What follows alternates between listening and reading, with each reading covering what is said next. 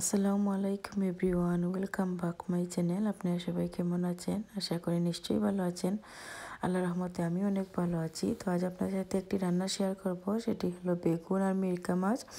তো আমি মাছটাকে ধুয়ে পরিষ্কার করে নিয়েছি, আর এখানে দিয়ে দিলাম হাফ টি স্পুনের চেয়ে কম লবণ, আর হাফ টি স্পুন মরিচের গুঁড়া, হাফ টি স্পুন হলুদের গুঁড়া। দিয়ে আমি এটাকে ভালোভাবে মিক্স করে নেব। তো দেখুন, আমার মাছটা কিন্তু মিক্স করে নিয়েছি আর আমি এই মাছগুলোকে এখন ভেজে নেব।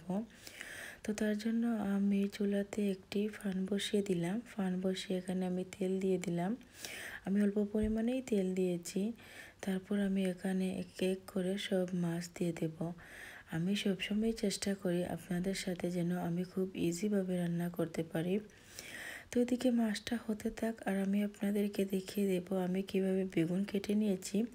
এটা আপনাদের পছন্দ অনুযায়ী আপনারা যেরকম ইচ্ছা করতে পারেন। তো আমি এভাবেই করে নিলাম। এরপরে আমি এখানে দিয়ে দেব সামান্য পরিমাণে লবণ আর হাফ টি স্পুন হলুদের গুঁড়া, হাফ টি স্পুন মরিচের গুঁড়া দিয়ে এটাকে আমি মিক্স করে নেব। তো দেখি আমার মাছটার কি অবস্থা। আমার মাছটা হয়ে এসেছে। আমি এখন উল্টে দিলাম অন্য পাশটা হয়ে আসার জন্য। তো দেখেন আমার মাছটা কিন্তু এখন খুব সুন্দরভাবে হয়ে গেছে আর আমি এখন মাছটাকে নামিয়ে নিয়েছি। আর একই প্যানেতে আমি আবারও অল্প পরিমাণে তেল দিয়ে দিলাম। তেল দিয়ে আমি বেগুনগুলো দিয়ে দেব। এদিকে বেগুন হতে থাক আর আমিও আপনাদের সাথে কথা বলি। আমার কিন্তু আপনাদের সাথে কথা বলতে ভালোই লাগে। তো বেগুনগুলোকে কিন্তু আমি বেশিক্ষণ চুলাতে রাখব না কেন বেগুনগুলো এমনিতেই নরম হয়ে যায়। জাস্ট আমি একটা কালার আসার জন্য আমি অপেক্ষা করে এই দু তিন মিনিট পর আমি নামিয়ে দেব। এভাবেই কিন্তু আমি সবগুলো বেগুনকেই ভেজে নেব, যেন একটা কালার আসে তার জন্য। তারপর আমি সবগুলোকে উঠিয়ে নেব। কেন আপনারা জানেন বেগুনটা খুবই নরম থাকে, তার জন্য এটাকে এত বেশি বাঁচতে হয় না। তো দেখেন আমার বেগুনটাকে আমি ভেজে নিয়েছি।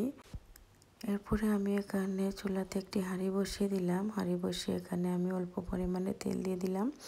তেলটা যখন গরম হয়ে আসবে তখন আমি চার পাঁচটা রসুনের কোয়া কুচি করে রেখেছিলাম, সেটা দিয়ে দিলাম। সেটা যখন হালকা ব্রাউন কালার চলে আসবে তখন আমি এখানে দুটা পেঁয়াজ কেটে রেখেছিলাম, সেটা দিয়ে দিলাম। আর সাথে আমি আন্দাজ অনুযায়ী লবণ দিয়ে দিলাম। দিয়ে এটাকে খুব ভালোভাবে মিক্স করে নেব। যখন ভালোভাবে মিক্স হয়ে যাবে, তখন আমি এখানে অল্প পরিমাণে পানি দিয়ে দেব যেন পেঁয়াজটা নরম হয়ে যায়। এরপরে এখানে আমি যখন পেঁয়াজটা নরম হয়ে আসবে, তখন আমি পেঁয়াজটাকে মতে নেব। তারপরে এখানে আমি এক এক করে আমি সবগুলো গুঁড়া মশলা দিয়ে দেব। আমি ওয়ান স্পুন দিয়েছি মরিচের গুঁড়া হাফ টি স্পুন হলুদের গুঁড়া হাফ টি স্পুন জিরা গুঁড়া হাফ টি স্পুন ধনিয়া গুঁড়া। দিয়ে এটাকে খুব ভালোভাবে মিক্স করে নেব। যখন এটা খুব ভালোভাবে মিক্স হয়ে যাবে, তখন আমি কেটে রাখা কাঁচামরিচ ফালিটা দিয়ে দেব। এখানে আমি চার পাঁচটা কাঁচামরিচ কেটে রেখেছিলাম, সেটা দিয়ে দিলাম আর অল্প পরিমাণে পানি দিয়ে দিলাম। পানিটা যখন শুকিয়ে আসবে, তখন আমি সবগুলো মাছ দিয়ে দেব। একই সাথে আমি বেগুনগুলো দিয়ে দেব। কারণ মাছটা আর বেগুনটা আগে হয়ে গিয়েছিল, তার জন্য আর এখন আমি কুকারে বেশিক্ষণ রাখব না, নামিয়ে ফেলব। তো আমি অল্প আছে দু, তিন মিনিট রেখে এখানে আমি পানি দিয়ে দেব। পানি এটা আপনাদের যার পছন্দ অনুযায়ী, তো আমি অল্প পানি দিলাম। দিয়ে এটাকে আমি হালকা গ্যাসে রেখে দেবো দু, তিন মিনিটের জন্য। তারপর যখন দেখব এটা আমার হয়ে গেছে, পানিটাও কিছু শুকিয়ে গেছে, তখন আমি ধনে পাতা কুচি দিয়ে নামিয়ে ফেলব।